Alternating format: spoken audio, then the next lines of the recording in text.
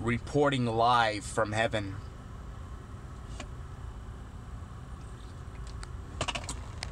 You know, a lot of times you feel like this dark line and you don't want to do something knowing it's going to empower you, knowing the credits of heaven are going to roll out, the red carpet of majesty is going to come out, and you're going to get the promotion, you're going to get the degree, you're going to get the the handshake, you're going to be exalted, right? But there's something preventing, and you know it's like a hidden backward thought against someone, something that's trying to give you the belief system to not move forward and progress.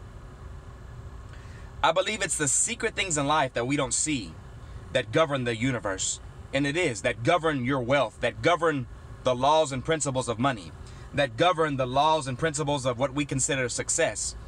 And you got to ask in life, what is your consideration of a thing? Or what are your thoughts about a thing? These are great questions to ask. Because if you're like, what do you think about God? Well, I don't, you know, he's just blah, blah, blah. Well, if that's your outlook on God, and God is the entirety of the existence of this life that we're upon, well, you're going to have some problems. So you got to sit back. You have to learn to backtrace in your mind to all the events that have ever occurred.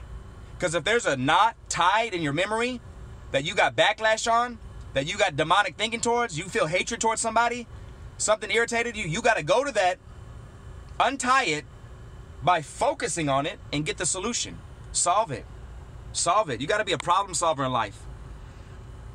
When the Bible talks about waiting on God, we really got that thing twisted. We don't know what waiting on God means. We, and I'm talking to myself. We don't really truly know what that means.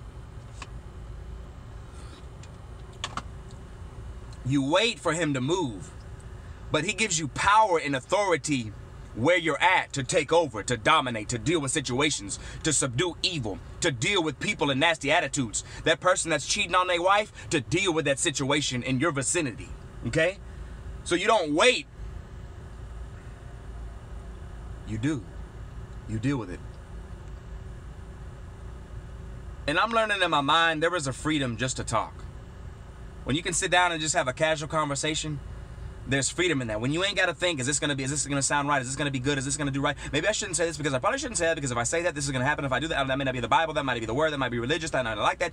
Blah, blah, blah, blah, blah. Right? So when you can just openly, freely express and know the Holy Spirit in your devotion is going to catch that.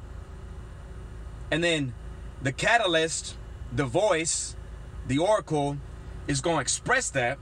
So you're going to get the, you're to get the realization in, in, in your mind. Why you're see why I'm talking, I get realization that I don't get when I just pray in the spirit, when I seek the face of God, when I read my Bible, but when I come with the full with the forefront focus to just talk. Not even know what I'm gonna say, just talk about God, talk about life, talk about what I'm learning. I start feeling this energy pumping me up that I don't feel any that I don't feel in this way, in this fashion anywhere else.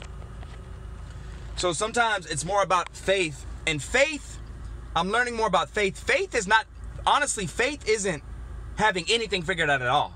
It's actually the opposite. And it's giving me more rest in my life, more peace in my spiritual life. It's giving me more of God's presence by because before I had to have everything figured out. But the less and less I have to have anything figured out, even the intense things I go through, and I just just silent, don't even don't even have to figure it out. That's faith. Just resting and being assured that God's got your back and He's making it work out for a reason. And a lot of times that reason has nothing to do with a circumstance. We always think, well, God's working out for greater good. And the only thing we think about is getting more money. God's gonna use this to get me more money. God's gonna use me this to get, get a new car. God's gonna use, and yeah, that's okay, but that's all we human beings think about. We don't think about the divine matrix, the supernatural, the infinite, that life is so much bigger. So we always think, yeah, the Bible says God's going to work out everything for the greater good, so I'm going to get more money. And we only think about physical things. But a lot of times, God working out something for a greater good, you might have suffered and you have a revelation, you have knowledge, you have a spiritual key, spiritual insight that when you speak it, 7,000 people are going to receive it and they're going to get touched by the hand of God. Now, that's better than any car you could get, is it? Maybe, maybe not to you. Maybe you esteem physical wealth higher than the spiritual applications and the wisdom and the revelation. See, the wealth of God, the wealth to God has nothing to do with, oh, you got a car. Wealth to God is wisdom. Wealth to God is being free. Wealth to God is because you can have all this.